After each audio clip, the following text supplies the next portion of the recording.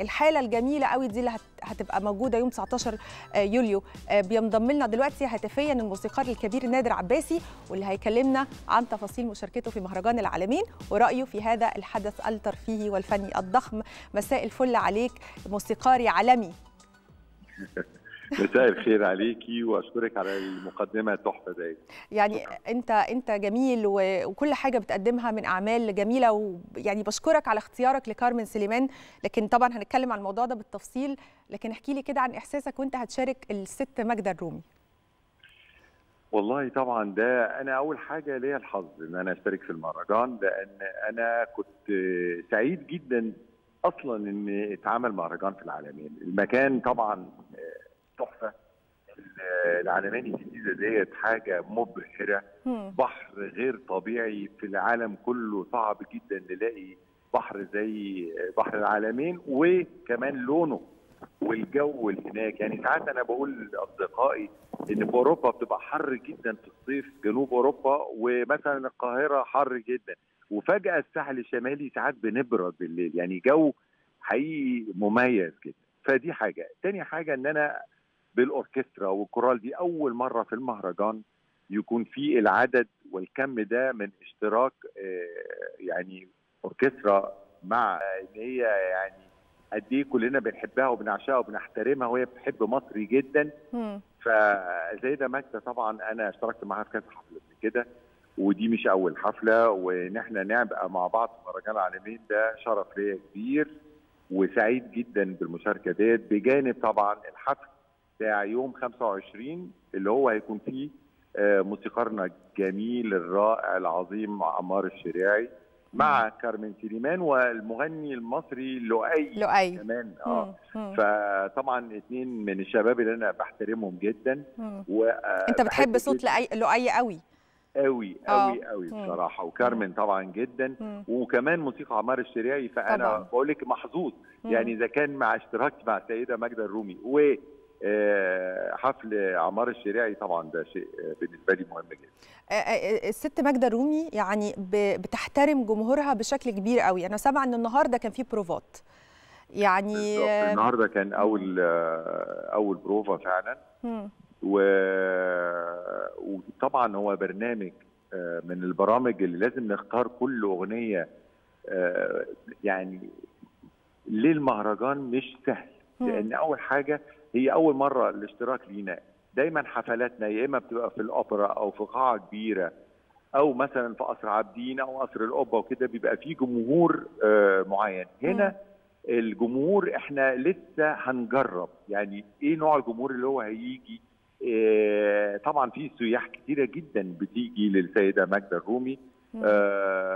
من إخواننا طبعا العرب وطبعا أوروبيين جدا جايين يشوفوا البحر ويتمتعوا بالجو ده. فلازم نختار أغاني تبقى وللشباب ولكل الأعمار فاختيار البرنامج ما بيبقاش سهل.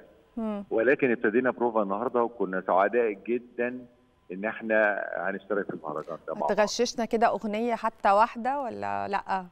لا طبعا اغششكم الأغاني اللي أنتوا عاوزينها عايزه تعرفي بالنسبة للبرنامج. طبعا ل... ل... آه يعني للفنانة ماجدة رومي كده أغنية واحدة كده لقيتوها لل آه... للمهرجان. غني للحب. الله. الله. آه كلمات. الله. الله. آه في أغنية كمان من أنا بحبها جدا هي بتغني مثلا حي على الفلاح. للمصريين بتغنيها بطريقة تجنن. يعني دي كده هدية منها منها لينا آه التوبة هتغنيها. الله. آه تطلع منها مختلفة. بحلف بسماها. وبتغني آه يعني أغاني كتيرة جدا بصراحة يعني مش المفروض إن أنا أقول كل الاغاني عشان الناس تيجي تسمع بنفسها. خلاص يعني كفاية قوي حضرتك كنت كريم معانا. نروح بقى للموسيقار عمار الشريعي وخليني أقول يعني هو فعلا ألحانه كده مصرية جدا يعني رأفت الهجان زيزينيا أميرة في زمن الحب وغيره وغيره وغيره. يعني احكي لنا كده على السيمفونية الجميلة دي هتعزفها إزاي أو بتفكر فيها إزاي بتخطط لها إزاي تقدمها في المهرجان؟ طبعا مع صاحبة سعادة إحنا قدمنا 121 سنة سينما و123 سنة سينما. قدمنا طبعا الفنان الكبير مودي الإمام. في 121 سنة سينما قدمنا فعلا رأفت الهجر ودموع في عيون واضحة. طبعا لاقت نجاح غير طبيعي آه لأن المصريين كلهم متعلقين جدا برأفت الهجان بالذات وحاجات كتيرة جدا لعمار بس طبعا رأفت الهجان ليها تأثير كبير قوي على على المصريين مم. وخصوصا إن هي مكتوبة الأوركسترا كويس قوي قوي قوي من المؤلف. طيب مم. هنا اختيار آه الأغاني أو الأعمال لعمار الشريعي لازم تكون بحذر جامد جدا لأن هو عمل أعمال كتيرة جدا ولازم أختار الأعمال اللي تنفع الأوركسترا. لأن هو عامل أعمال مثلا ممكن تكون شرقية جدا عايزة تخت ممكن عربي أو فرقة عربية لكن ما دام في أوركسترا وفي كورال وفي جميع الألوان اللي ممكن يديها له الأوركسترا فبتبقى آه، ميزة إن أنا أقدم الأعمال اللي هو أياميها ما كانش فيه ال- بيسموها ال- يعني البادجت ال- أو الإمكانيات إن هو يجيب أوركسترا فكان. بيسجل على الأورج مم. أو فرقة صغيرة فكان آه، في أصوات الأورج أياميها في الثمانينات والتسعينات وكده بيبقى الأورج صوته طبعا صناعي. فلما بتعملي العمل لعمار الشريعي بالأوركسترا الحقيقي وتشوفي هو كان نفسه مثلا يكتب هنا الفلوت لآلات نحاسيه. بس بيلعبها بالأورج. آه لما تلعبيها له بقى بالآلات الحقيقية بيطلع صوت مختلف تماما طبعا. ف... فبالتالي كان لازم إن أنا عم... يعني نديله الهدية ديت ونكرمه إن إحنا نعمله الأعمال اللي هي كان كاتبها للأوركسترا بس ما اتعملتش عينيها بالأوركسترا مم. فدي برضو هتبقى حاجة جديدة جدا فطبعا ده طبعا عمل مشترك مم. مع الأستاذة طبعا إسعاد يونس طبعاً. مع مخرج ال- البرنامج الاستاذ محمد مراد مع أحمد فايق المعد طبعا كل ده بتبقى أعداد آه، ورشة عمل كبيرة جدا. هم بي بيقترحوا أعمال وأنا بقترح أعمال وبنقول ده ينفع للأوركسترا ولا ما ينفعش ساعات تبقى أعمال كويسة جدا وحلوة جدا ونفسنا نعملها بس ما تنفعش الأوركسترا أو عايزة فرقة عربي مثلا. ف...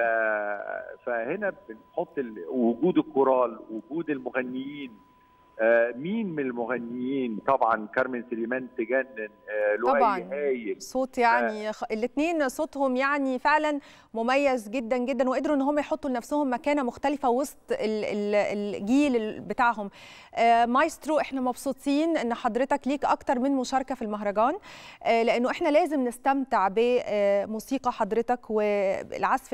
الجميل من الأوركسترا آه اللي حضرتك إن شاء الله هتقودها وأكيد حفل طبعا النجمه الكبيرة ماجدة الرومي وصاحبة السعادة أكيد. بنشكرك آه، الموسيقار الكبير نادر عباسي. كل الشكر ليك.